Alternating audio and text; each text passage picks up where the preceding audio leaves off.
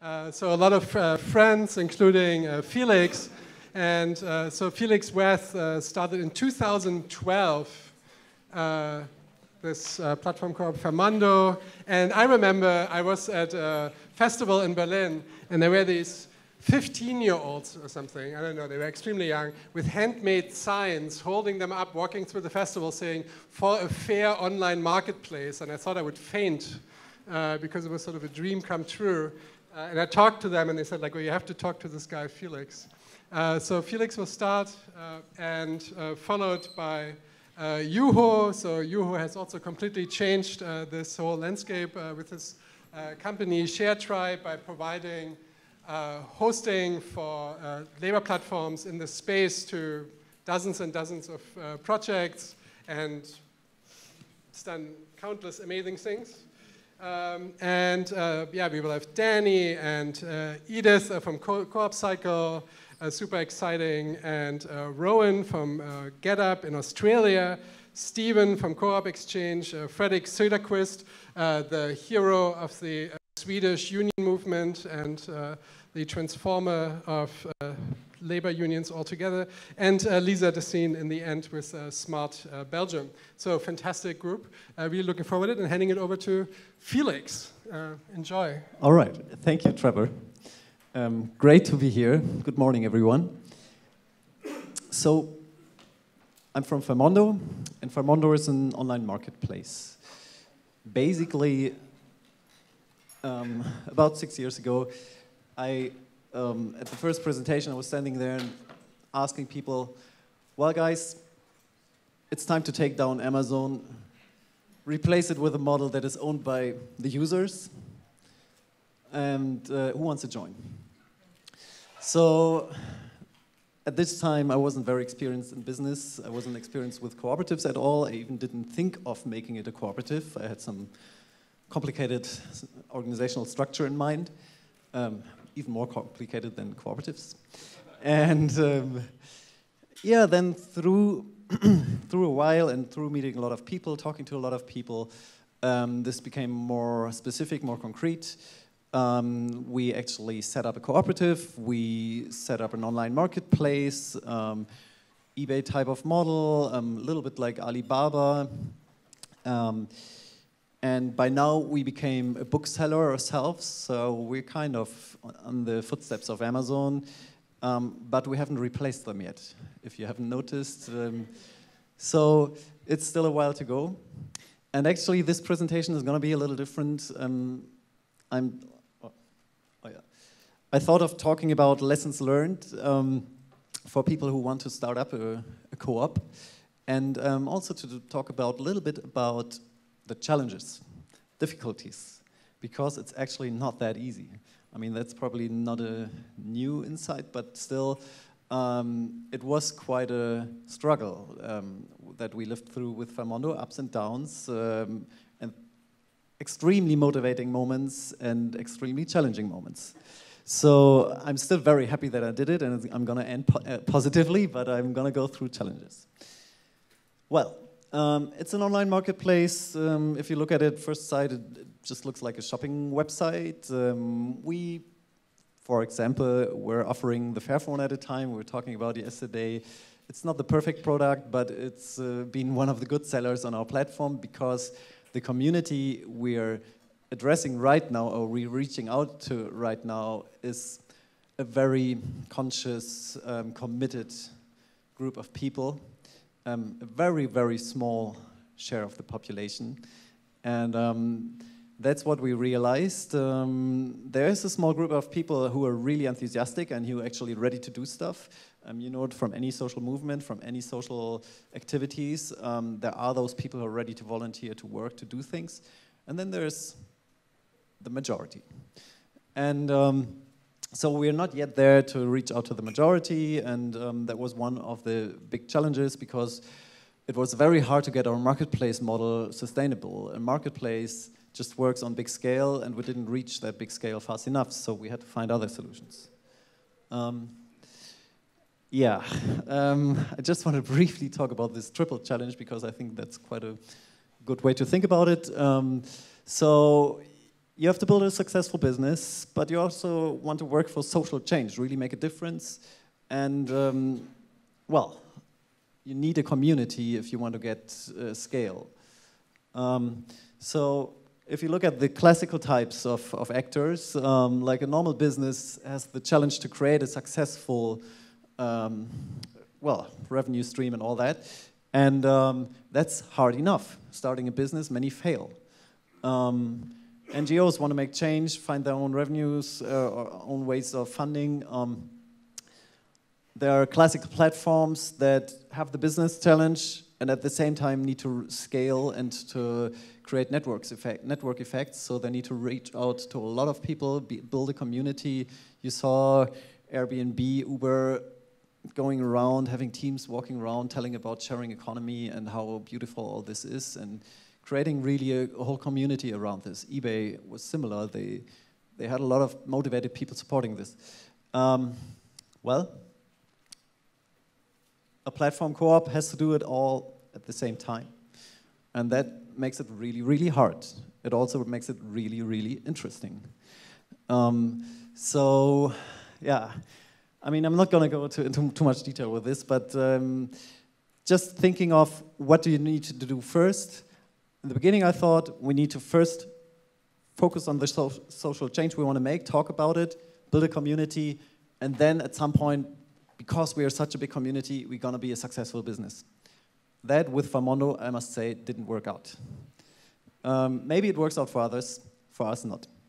Um, I think at this point, it's much better to think about really having the other points in mind, how you get a sustainable, viable business pretty quickly on the go, because that gives you kind of the ease to, to think about the other stuff. Um, that's my personal view on this. But I'm really happy to discuss uh, in person later. Um, well, now about lessons. We spent a lot of time developing our, our specific model, and I think um, if you look, we were talking about cooperative models before in different countries. Um, there's not the perfect model out there, and the cooperative model, at least in Germany, needs an update, in particular if you want to use it in the digital sphere. So um, we spent a lot of time on this, discussing with a lot of people, um, developed this model, talked a lot about this model, and that's actually, oh yeah, just an idea of how our model looks. It's a multi-stakeholder co-op. Um, we have a general assembly, but we also have an employee assembly. So, um, and the employee assembly is actually electing a managing board. So, um, if you want, the workers are electing their own bosses but there are no bosses in the sense that um, I can go there and be the dictator. Um, but in a cooperative, at least in the German model, you need people who are uh, who are um, liable for the for the company because it's still a company. Um, and those people do need to have some certain responsibilities in the cooperative. How you design it is open, up to you. But um, this is what we put into the model. Um, if somebody goes crazy, if somebody goes to on an ego trip, um, you can just elect someone else. Um, then what really worked well for us was talking about our model. We even educated a group of, uh, trained a group of ambassadors. We had 40 people going around the country um, giving speeches and workshops. Um, I spent a lot of time traveling around, maybe too much time traveling around talking about the model. Um, but at least it helped us building up a co-op um, of over 2,000 members and getting some basic funding. Yeah, this was the first talk we gave. We were quite impressed that uh, uh, we wanted to have like a little table discussion, but there were many people coming. Um, yeah, then another hard point, um, and this is obviously for any business venture that you're undertaking, really make sure you get the right team. Um, and that means people who are complementary to your own skills, um, not people who just perfectly are not your best friends or people who you like most. I think it's really important that you make a good team in terms of being effective and efficient in running your business. And um, well, that's the learning. We had, um, I'm not going into details with that, but um, really make sure that you think a lot about who you take in the team. Um, be picky. Um, think twice. Um, make sure you work together well. And if you don't work together well, then decide early that you maybe um, maybe go on different paths because um, it doesn't make sense to, to fight internally too much um, and to to have too many internal struggles. It's really taking too much energy. Um, and you need energy for other things. Well, this is a, a picture I'm, I'm, always, I always like to show because um, it shows two things. It shows that we have a committed team. Um, it was actually an intern who came up with this idea to make a naked picture of the team, and I said like, okay, um, ask everybody if everybody wants to, it's up for it. Let's just go for it. So, um, and it's uh, this picture is to represent transparency. We, uh, we have this slogan of like uh, straightforward transparency, and that's one of the core values. And we realized also communicating this value gave us a lot of um, a lot of support. A lot of people, when we asked uh, the surveys among our members, what is what you value really? Transparency. Um, then your own energy. Um, that's the learning I took myself. Um, I took a year off now, sabbatical year, um, just to recharge my batteries it's not easy if you're in this role of managing any kind of company. A platform co-op might be even more challenging. You have all this community. You have, you have, so many people who you're kind of accountable to, who you feel responsible for.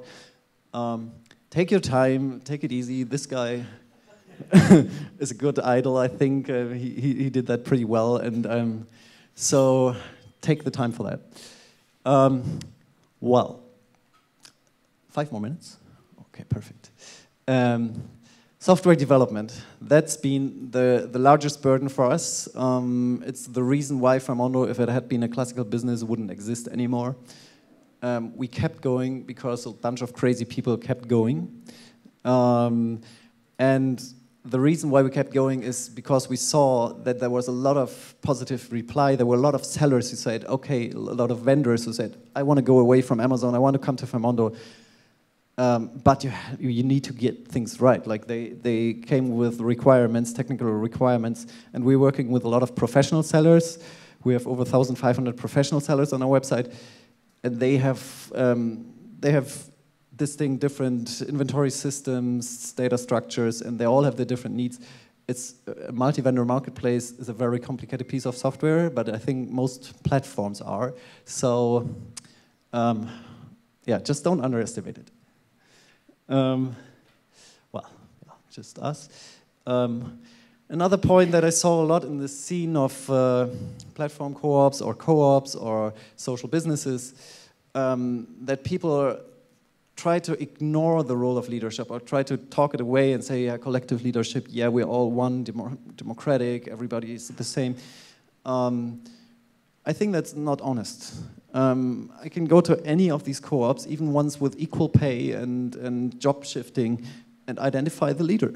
Um, there are a lot of, or the leaders. Um, it's, there are a few people who take that role, and it's um, my view, if you have these roles, be honest about it. Um, also to protect um, those people who, who play these roles, because they're not easy to play and they take a lot of energy at some point. also because, in general, I think it's better to be more honest. Um, but uh, yeah, I mean, I remember this picture when the, the photographer said, um, wanted me to stand in the middle. I was thinking, no, I shouldn't stand in the middle. Um, it was very in the beginning, and um, yeah, but we had talks about this in the team, and um, well, there were different views, and uh, I just uh, can say from now, after five years of running this crazy thing, um, I should have uh, taken my role more seriously, more openly, more honestly. Um, yeah, and then cooperation. Probably the biggest learning. Make, create space for cooperation. There had been so many opportunities for us. There had been so many potential partners, so many people who came up, um, except for the co-ops. Um, I'm sorry, but I, I, went to many co-op conferences, two times to the ICA, um, it was very hard to, to get a foot somewhere, and it seems everybody is very busy with themselves. and um, with their own little sphere and their own little world, they have to. And I mean, I understand because we all have challenges to solve, and it's complicated. Um, but I think you have to reserve this space for cooperation and make sure that you actually have resources and capacities that are just there for this cooperation because it's our biggest strength. Um, well, then keep going. We already heard that. Um, this is one of our crowdfunding campaigns. Um, just uh, whenever, whatever difficulty you run to, um, talk about it. Allow people to help you if you have a challenge, but keep going. And um, just, uh, just now to leave with a positive end. So what we're gonna do with Fairmondo now, um, after six years, right now Fairmondo is existing at a small scale, um, having a team in Berlin, keeping it, keeping the flame alive, but not um, having any dynamic going forward. And this is uh, now the question: how, what will be the next step to actually make something out of what we created? Because we we do have some some knowledge of the like some some brand. Uh, how do you call it publicity but we, um, we're lacking a lot of things, in particular on the technical side. So one thing is going global. We're talking about this since two years. We have uh, Fairmondo UK that set up. There are a lot of people who want to set up a local Fairmondo, and they all have the technical challenge. Some worked with ShareTribe. Um, you're going to hear about it. But um, one thing um, I want to do personally is, um, and that will start by the end of this year, is setting up a new technical company that will hopefully cooperate with ShareTribe in some, to some extent, um, um which will focus on multi-vendor marketplaces um, that work with um, professional vendors with large inventory systems. this is this is the the goal, and raise sufficient capital to actually develop a high-end software. And the last uh, point is um, I just want to mention think if you want to kick off with a co op like, like we did, um, having all the challenges from the beginning, or th think if you have a startup um, kind of vehicle that doesn't have the whole model integrated and then become a co op later. But if you do that, make sure that you have some legal legal solution that you're really required to follow up. Thank you.